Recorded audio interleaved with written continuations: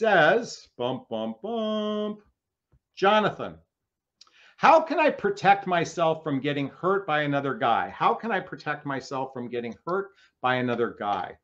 Um, first off, I want to thank that the person who wrote that into me because this is an important topic that I want to lean into today. Because here's what, listen, m- most everybody who's in who's experienced at least a couple, three or four decades of life or more, has had one, if not several, relationship experiences that didn't go well. Okay. That's pretty much standard norm. In fact, it could be more than one or two, it could be multiple people. And what happens for so many people, they actually feel a level of hurt. And that hurt can turn into bitterness and jadedness. Let me repeat that hurt can turn into bitterness or jadedness. And I want you to imagine this you desperately want a life partner. Let's not even say desperately. You desire a life partner. You would like to have someone in your life to go the balance of your life in partnership with them. Okay. But I want you to imagine that you're going out on a first date with a guy and you're sitting you're sitting across from one another chatting. And he literally can see every person i'm going to do this. He can literally see every person who's ever sitting behind you or has hurt you sitting right behind you. Because what's happened is if you're trying to protect your heart if you're trying to protect your heart you're blocking yourself from actually opening your heart to another human being let me repeat that. If you're trying to protect yourself, you're blocking your heart to open to another human being. And what happens is all they see right behind you is all the hurt you've ever experienced. And let me just tell you something, ladies. I'm not making this up when I say I've sat across from women at dinner, at drinks, and I can literally energetically feel everyone that's hurt them. It's in their languaging, it's in their communication, it's in their fear it's in their judgment. And there, that is no way to approach a relationship with a wall trying to protect yourself. In fact, it's quite the opposite. Because the most important thing, if you genuinely want to experience a healthy, happy relationship, it requires having an open heart, an open heart so you can actually receive the love of someone else. And yet, many of you are suckling on the nipple of the man must climb to the highest room, to the tallest tower. Ladies, it is not our job to break down your walls. It is not our job to tear down your defenses. It's not our job.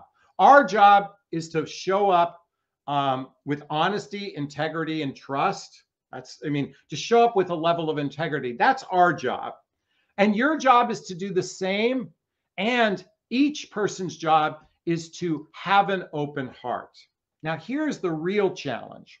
If you've been hurt in the past, the most important thing to do going forward is to heal, to heal those past hurts, to look at those past relationships and ask yourself, what positive things did I learn about myself in each one of these relationships? What positive things did I learn about myself in each one of these relationships?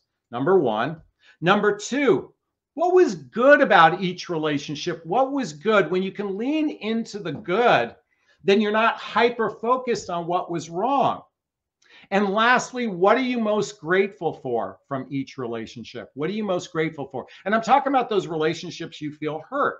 Now, I understand many of you are so deeply entrenched in your hurt, you're actually operating from a place of victim consciousness, of victim consciousness. And I'm here to say if you're operating from a place of victim consciousness, you will only attract more and more bad experiences because God, universe, or spirit wants you to Love on yourself. God, universe, spirit wants you to love on yourself because it is through self love, it is through healing, it is through forgiveness, both of yourself and everyone else, that you can actually begin to invite a great relationship in your life.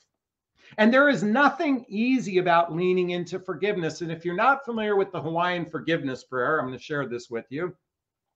It's called the Ho'oponopono Pono Pono. And it goes like this I love you. I'm sorry. Please forgive me. Thank you. I love you. I'm sorry. Please forgive me. Thank you. I love you. I'm sorry. Please forgive me. Thank you. Like giving yourself a shot of B12, it's actually L12. What love does is give ourselves love. It starts, forgiveness means forgiving love, giving yourself love. And when you can operate from an open heart, you actually have a greater opportunity to invite love into your heart. Because if you're hyper focused on trying to protect yourself, folks, I'm sorry to say this, you'll be single for a very, very, very, very, very, very, very, very long time. And I don't want you to do that. I want you to invite a great relationship in your life. And so, if you need some love and support on this, then check out a link to a free discovery call with me to see if working with a coach is right for you. Because I'm here to say when you learn how to ask better questions right from the get go, and that's my area of expertise, how to pre qualify your prospect, you're going to have a greater chance of attracting a more quality guy in your life instead of focusing on trying to protect your heart. Are you with me on this? Will you do this for me? Please let me know. Give me a thumbs up or hit amen because protecting your heart is just going to block you from attracting a great guy in your life. Okay, I want to thank that person for that question. I really appreciate it. All right, let's see. We're going to take one or two more questions right now.